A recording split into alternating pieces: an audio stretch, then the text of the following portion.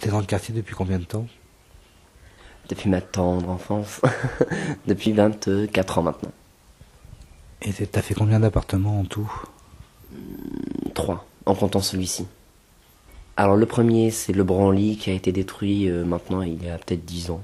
C'était à la place de la cuisine centrale. Donc il était juste en face du Clémendaire qui lui aussi est tombé. C'était deux tours, enfin deux bâtiments jumeaux.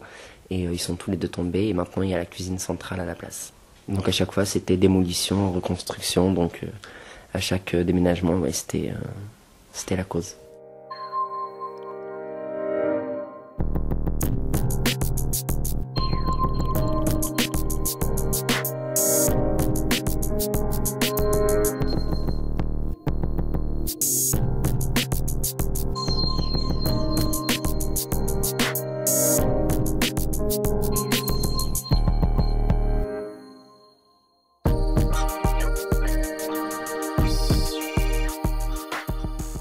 Le Charles Cros, euh, c'était euh, bah, c'était la plus grande partie de ma vie en fait. C'est un immeuble où j'ai revécu, enfin j'ai refait mes liens euh, amicaux avec des, nouvelles personnes. C'est l'immeuble où j'ai bah, où je suis rentré au collège, ensuite au lycée, où j'ai grandi donc. Donc ouais, un bel immeuble, enfin un bel immeuble, non pas par son aspect physique, mais un bel immeuble parce que justement il a il a vécu beaucoup de choses. Mes cousines qui se sont mariées euh, dans cet immeuble justement, euh, euh, plein de choses. Mon frère qui quitte l'appartement après l'armée pour s'installer. des bons souvenirs, oui, des bons souvenirs, mais aussi des mauvais. la disparition de, de mon père, c'est l'un des, des souvenirs marquants, tristes. Mais ouais, des souvenirs aussi, des bons souvenirs. Mais au Charles Cros, ça s'est dégradé à quel moment alors? Ben, En fait, il y a des gens qui sont venus habiter dans, dans cet immeuble qui n'avaient pas le mérite d'habiter en, en, immeuble. Donc, qui dit immeuble dit euh, limite euh, sociable. Donc, euh, voilà, quoi, c'était des overdoses d'alcool, des bagarres, des chahuts. La tension était de plus en plus lourde. Je sais pas, ça se répercute forcément sur le moral. Quand tu dors mal, que tu entends des cris tous les soirs mais euh, quand c'est comme ça, H24, et mais, finalement, dans la journée, mais euh, t'as du mal.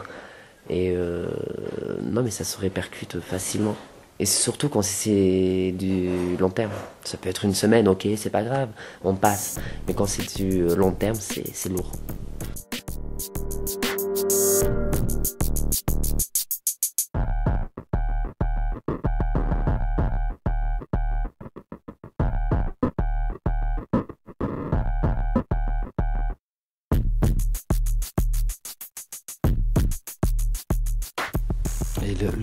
L'immeuble dans lequel on est, tu dirais qu'il est comment? Nul.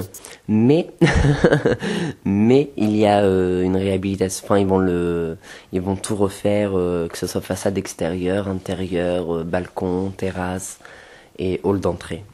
Donc c'est pour ça qu'on a choisi celui-ci parce qu'il va être refait de A à Z, de haut en bas. Vous êtes monté, vous avez pu voir. vous êtes monté à pied? Ouais.